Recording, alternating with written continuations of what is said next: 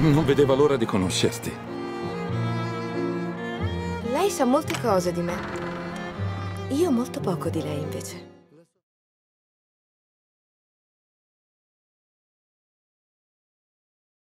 Intanto non volevo allontanarmi dal libro perché mi annoiava ripetere una cosa che avevo scritto, ripetere eh, filmando. Eh, poi per quanto riguarda i personaggi ho aggiunto questo personaggio che è molto simile a me, che è l'editor, e poi eh, c'è il regista, c'è eh, Neval, eh, ci sono quattro personaggi che fanno proprio messi insieme fanno parte di me praticamente. Quindi ho, ho giocato molto su, sul, sul mio modo di vedere le cose, sul mio modo di vivere.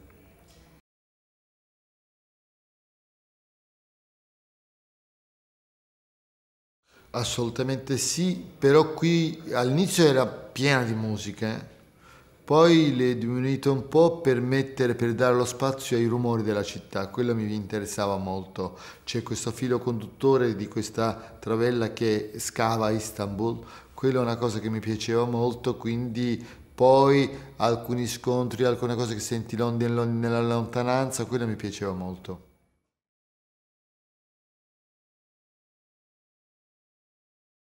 C'era un, una statua giù che era fatta con tutti i chiodi, che si vedeva pochissimo un personaggio seduto così che mi piaceva molto, ma sai, quello è un museo molto poco conosciuto ai turchi e a quelli di Istanbul. Infatti chi ha visto il film dice, ah, voglio vedere questo posto assolutamente.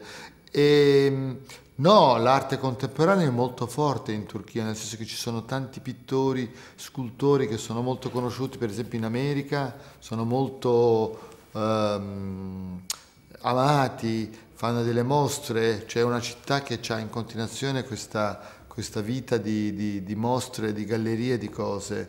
È... Nel film poi ci ho messo tantissimi quadri, ovunque ci sono, mi sono accorto di questa cosa, ma lo faccio proprio di distinto.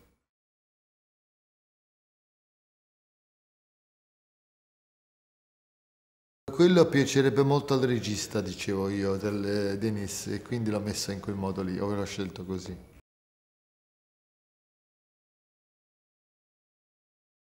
Però sono stato abbastanza lontano, nel senso che non sono andato... Tutti mi dicevano, vuole fare in dettaglio le cose? Dicevo di no perché le lasciavo così.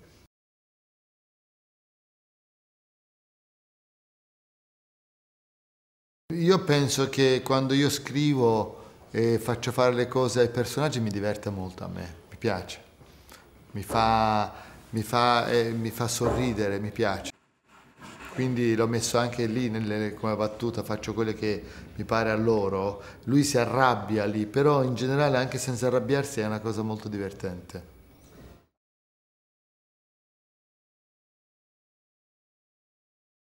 No, ma io, lui a un certo punto ci riflette e, e dice eh, ma il regista quella sera lì cosa ha fatto? E ha pensato di attraversare il Bosforo, quello che non riusciva mai a fare con Yusuf. Arrivato Yusuf, hanno chiacchierato, hanno litigato, Yusuf se n'è andato e lui, lui rimasto da solo, era strafatto secondo me, e decide di buttarsi in acqua per attraversare. Questa è la sua cosa, secondo me si è perso così.